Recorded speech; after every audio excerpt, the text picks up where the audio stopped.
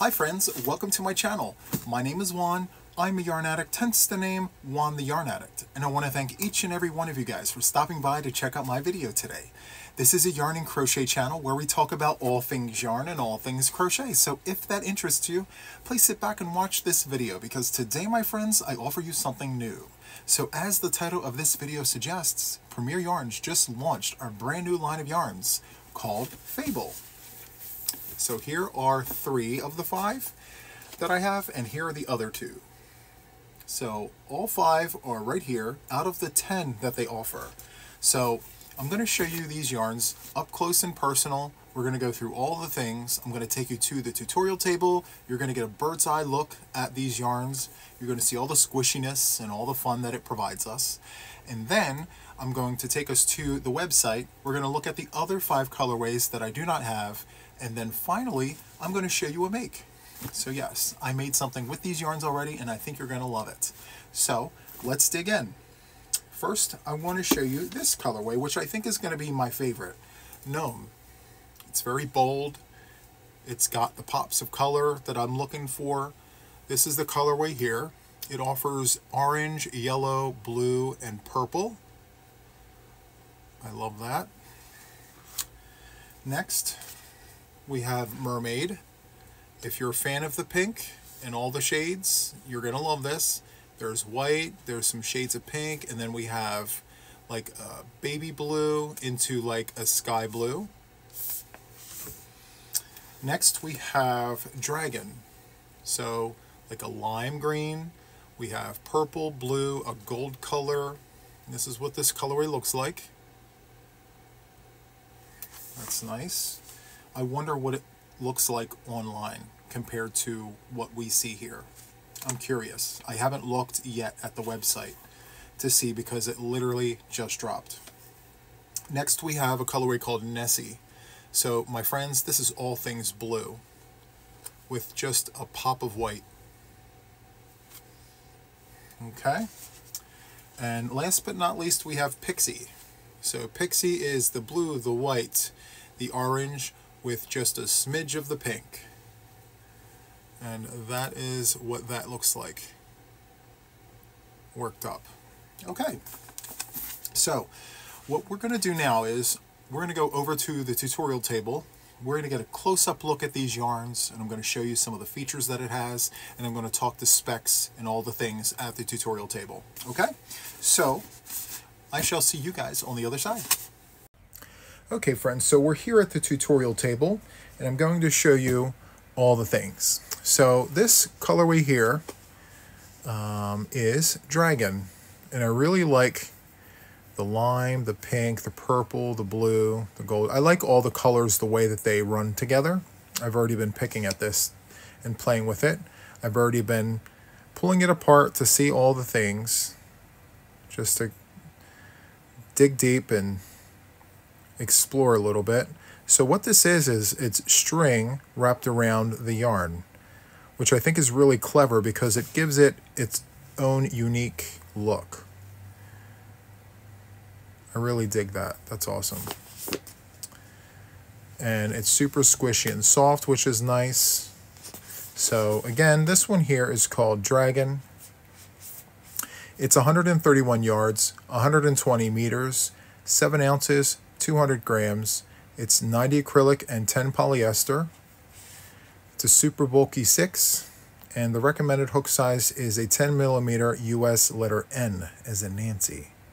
And if you're using knitting needles, it is a 10 millimeter US 15. Okay? The washing instructions are machine wash cold, tumble dry, low heat. Awesome. So no lay flat to dry, you can throw it in the dryer, which is perfect. We love that. So that one was Dragon. This one here is called Pixie. So let's look in here. So it's looking like there's pink, white, orange, this teal color here, and blue. The blend is amazing. I really like the way those colors play off of each other in this instance. And the white string just gives it that extra flair. That's super, super cool. Yeah, I like that. Okay. Let's look at this next one here, which this one here is Nessie. So if you love blue, if blue is your thing, this is for you. It has all the blues with just little itty bitty pops of white. I think, maybe not. No. So, no, because look at the string. The string is white. So this is just the ever so faint hue of like a sky baby blue. Wow. Yeah, it's all blue, no white, even though at first glance it gives you, you know, that white vibe there. Hmm. Interesting. Let's look at the other end here. Okay, nice, Nessie. Okay, next we have Mermaid. So pink and blue. It's very whimsical, this whole color story here. You have bubblegum pink, and then you have this watermelon color, which is amazing. And then you have this very, very beautiful um, hue of like a sky blue, and then a baby blue, like a powder blue maybe. And then of course you have you have white there. And let's see. Interesting. I like that. Okay. And then I saved the last one for for the best here in my opinion. this is my my favorite one of the bunch. So this one here is called Gnome. Yep. It's got that beautiful, beautiful hue of purple in it. Look at that.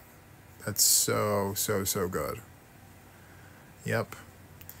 And then we have the orange, we have the bold yellow, the nice solid blue, almost giving a tie-dye effect, which is pretty decent. Yeah, look at that. Nice tie-dye look. Yeah. And all the stats are the same, obviously. But yeah, okay. So what I want to do now, now that I've shown you the five, I want to take us over to the Premier Yarns website and let's look at the other colorways. Let's see what else they have to offer, okay? So I'll see you back at the other room. One second. Okay, friends, so here we are at premieryarns.com and the main screen, as you could imagine, is Premier Fable. And this here is another colorway that uh, they offer. So let's go ahead and click Shop Now and let's just take a look at all these colorways. So this one right here is called Sprite. And let's look at what this looks like. So all pastel colors, which is perfect for the time of year that we're about to go into. So look at that.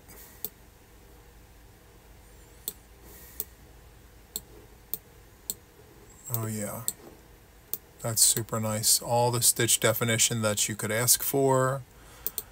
And like I said, that um, string that's wrapped around the yarns really gives it a unique look. So let's look at, okay, so this is Mermaid. Let's take a closer look here. Okay. Next we have Fairy. So this is a pink paradise situation here. All things pink. I mean, even to the this light section right here. I mean, I would imagine even the light sections there are like a powder, a powder pink. Wow. Okay. So Nessie is the blue version of what we just saw of the pink. We saw that all up close and personal. So that one was nice. Let's see, that's Dragon. We saw that one in the other room. Interesting. I like how that looks here. And then Gnome, which is one of my favorites. Look how bold that is. That's so nice. And here's Unicorn. Look at that. It's giving Easter vibes. Springtime Madness. Oh yeah, this is all the all the pastels that you could ask for. And again, that white string just gives it a whole level of an effect, which is amazing. We saw Pixie, we saw Dragon. Um, here's Elf. This is another colorway they offer. So we have a white, purple, a watermelon color, a vibrant orange, and a lime color. But this is like a super light version of a lime, which is great. And this is what it looks like knitted up. Yeah, that's awesome. Okay, so the colorways that we haven't seen up close and personal would be this elf, and it would be the unicorn. So wait, the elf, the unicorn, um, let's see, fairy, sprite, wait, we saw gnome, mermaid, fairy, Pegasus. This is the other one. Okay.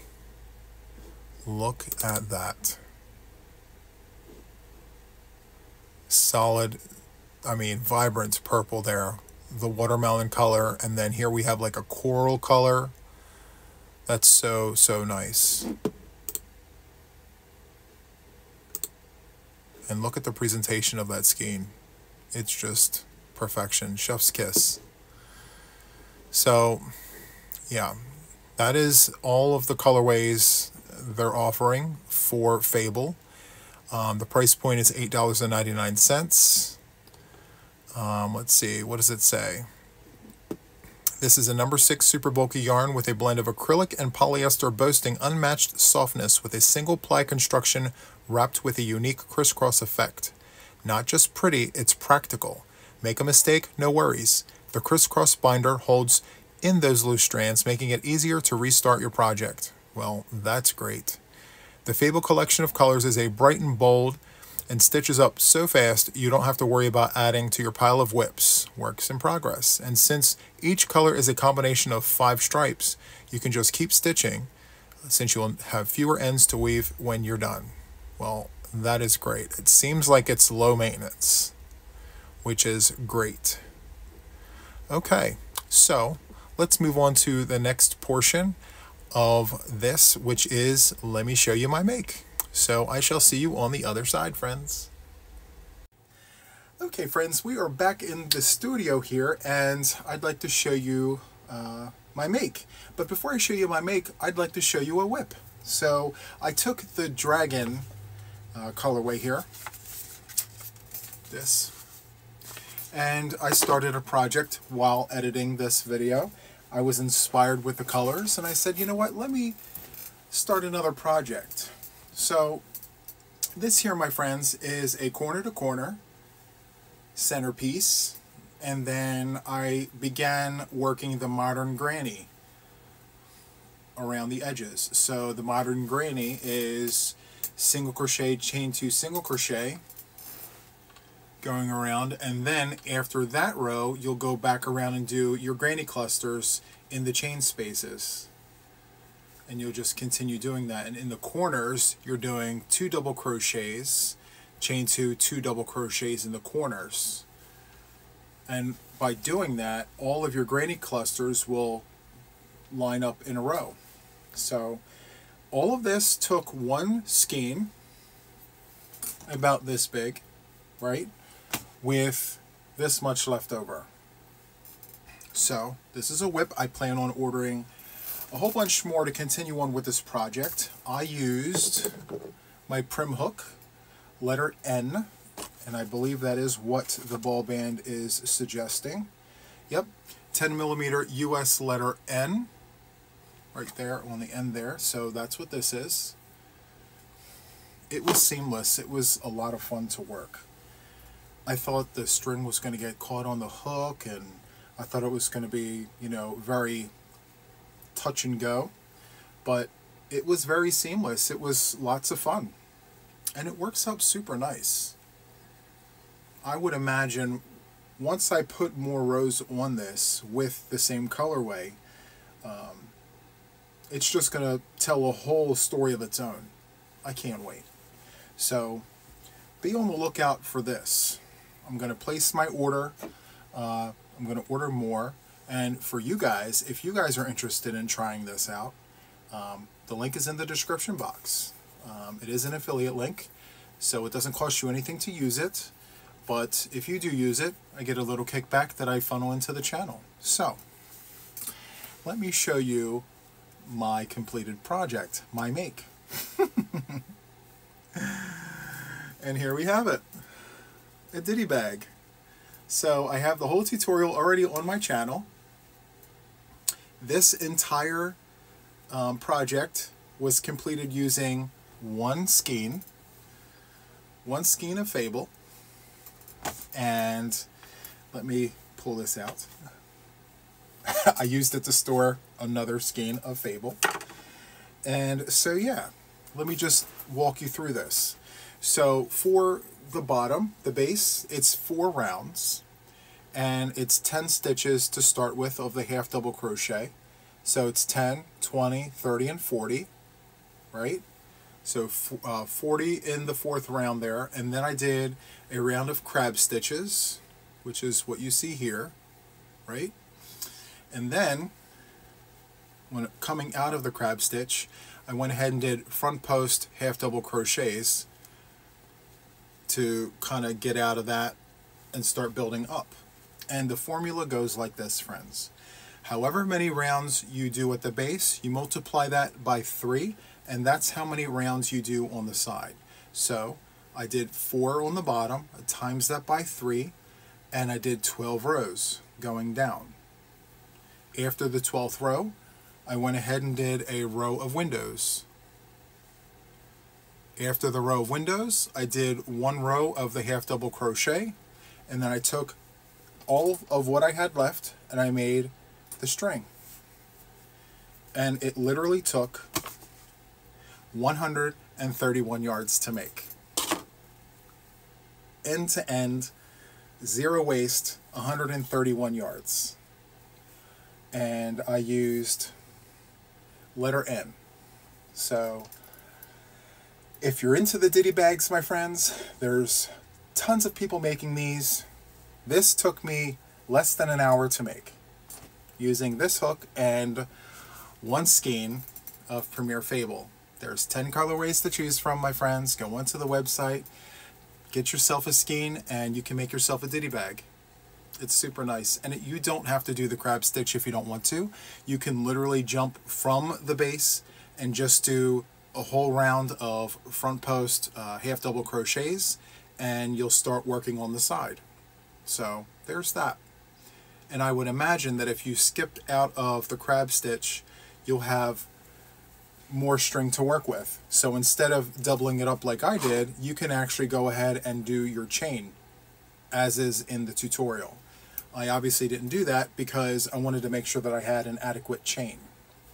So yeah, that was the modification. I did not chain for the, the drawstring here. I just literally took what I had left, I folded it in half, and then I knotted it on the end. And I didn't trim it because I wanted you to see it was exactly 131 yards that I used for this project. So, I'm super proud of myself. I didn't think I was going to be able to do it. I thought it was going to be yarn chicken. I thought all the things. But, super proud of myself. I can take a skein and put it in the bag here. Just use that as an example. Okay. So yes, if you like this review, my friends, please hit the like button. Subscribe to my channel if you haven't already. We talk and do all the things here on this channel. And then of course hit that bell to stay updated with me and my channel. So, that is it for this video, and until the next one guys, take care. Thank you for watching. Bye-bye.